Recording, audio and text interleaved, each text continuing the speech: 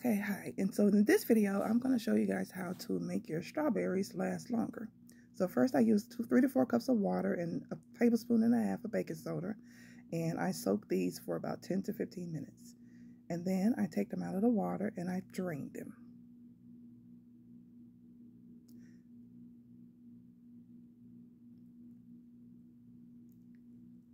So as you can see, I'm putting all of the strawberries out of the first batch of water which I call the wash and drain them. And then I do a first rinse, what I call a first rinse, where I rinse off the strawberries to um, make sure I'm getting everything off of them. And then I take those and put them and let them drain again. And look at the water when I'm done with the rinse, the first rinse look at the water. You can still see things floating around in the water. Um, the wash got it done pretty good, but you can still see things floating around in the water.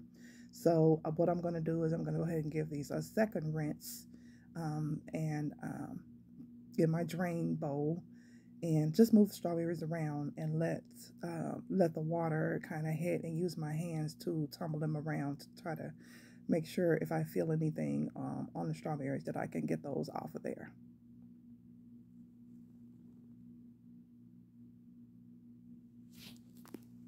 To go ahead and speed that up here.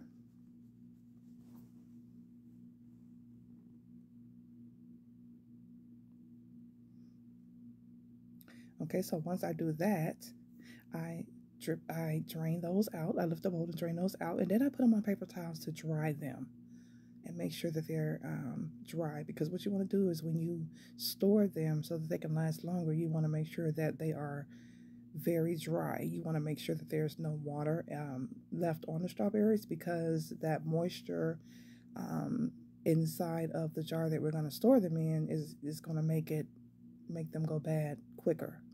So you want to make sure that they're really dry so that there's little amount of moisture as possible.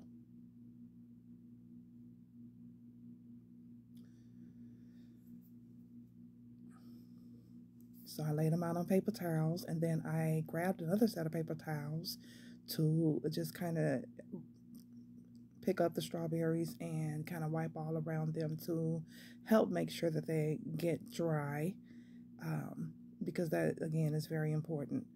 Um, and then yes, you see me, um, I actually pull out my blow dryer to um, make sure that they're dry enough to put inside of the jars that I'm going to be using in a minute um, and I turn them over and you know make sure that that dryer is hitting every side of them to get the strawberries dry as dry as possible and then I get out my mason jars. Um, yes we're going to be storing these in mason jars. Um, the strawberries last in mason jars I found um, up to two weeks freshness.